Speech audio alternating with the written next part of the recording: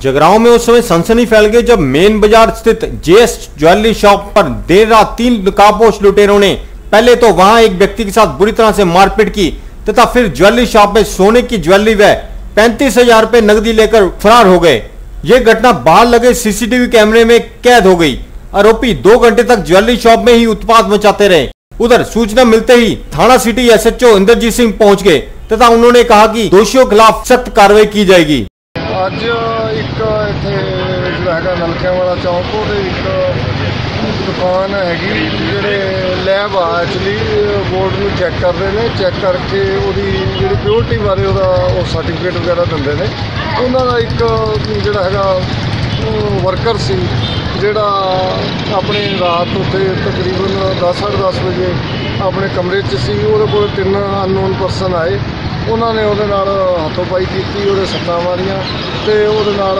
ਜਿਹੜੀ ਹੈ ਉਸ ਤੋਂ ਬਾਅਦ ਕਰਨ ਤੋਂ ਬਾਅਦ ਜਦੋਂ ਉਹਦੇ ਨਾਲ ਦੇ ਵਰਕਰਾਂ ਨੂੰ ਪਤਾ ਲੱਗਿਆ ਉਹਨਾਂ ਦੀ ਆਵਾਜ਼ ਸੁਣ ਕੇ ਉਹ ਉੱਥੋਂ ਮੌਕੇ ਤੋਂ ਦੌੜ ਗਏ ਉਹਦੇ ਸੰਬੰਧੀ ਅਸੀਂ ਜਿਹੜੀ ਲੀਗਲ ਕਾਰਵਾਈ ਆ ਉਹ ਅਮਲ 'ਚ ਲਿਆਂਦੀ जगरांव से देवेंद्र जैन के साथ राजेश जैन की रिपोर्ट